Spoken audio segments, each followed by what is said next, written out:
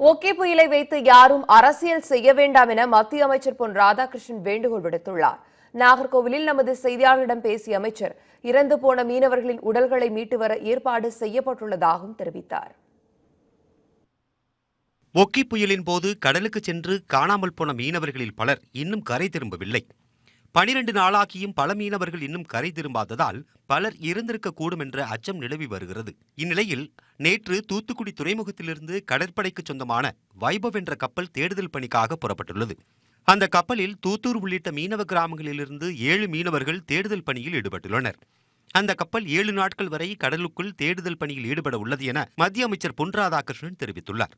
இன்னைக்கு புதிதாக ஒரு கப்பல் தேடுதல் வேட்டையில் வந்து இறங்கிது பெரிய கப்பல். ஒரு வாரம் முழுக்க தேடக்கூடிய அளவுக்கு அவங்க வந்து அந்த திறன் பெற்ற கப்பல். அதில் வந்து தூத்துறை சேர்ந்த மீனவ சகோதரர்கள் சின்னத்துறை சேர்ந்த மீனவ சகோதரர்கள். நான் வந்து ஒவ்வொரு ஊர்லேருந்தும் ஒருத்தர் எடுக்கணும் அப்படின்னு சொல்லி சொல்லியிருந்தேன். ஆனால் அவங்களால அது முடியலை. ரெண்டு ஊரை சேர்ந்த ஏழு மீனவ சகோதரர்கள் இதில் புறப்பட்டு போயிருக்காங்க.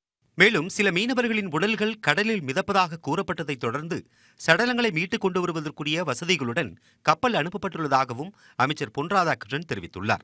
உடல்கள் கண்டுபிடிக்கப்பட்டதுன்னு சொன்னீங்கன்னா அந்த உடல்களை மீட்டு கொண்டு வந்து கரை சேர்த்து உரிய மரியாதையோடு அடக்கம் பண்ணுறதுக்காக அதுக்கு தனி அந்த சடலத்தை வைப்பதற்காக ஒரு பேக் தனியாக இருக்குதுன்னு சொல்லி சொன்னாங்க.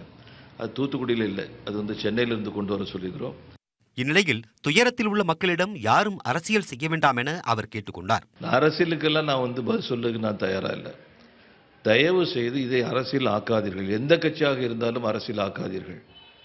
நாளைக்கு இந்த புயல் வந்து நம்ம குடும்பத்தை தாக்காது அப்படிங்கிறதுக்கு எந்த கேரண்டியும் யாருக்கும் கிடையாது. எந்த கட்சிக்காரங்களுக்கும் கிடையாது. இதில் போய் இன்னும் அரசியல் பண்ணிட்டு இருக்கிறது வந்து சரியில்லை.